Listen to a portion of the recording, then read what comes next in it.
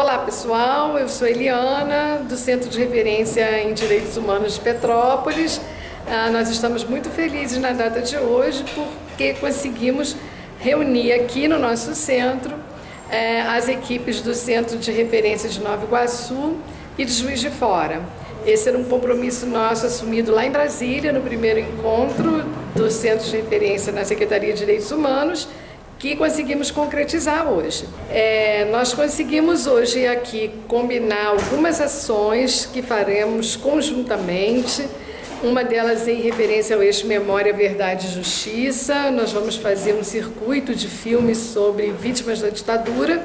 As cidades vão repercutir em datas semelhantes, parecidas, os filmes. E isso eu acho que vai ser muito bom para o nosso projeto. Os centros de referência de Petrópolis, Nova Iguaçu e Juiz de Fora participarão de uma capacitação no Teatro do Oprimido com o Gel Brito e nos apresentaremos na Cúpula dos Povos, então, com essa articulação.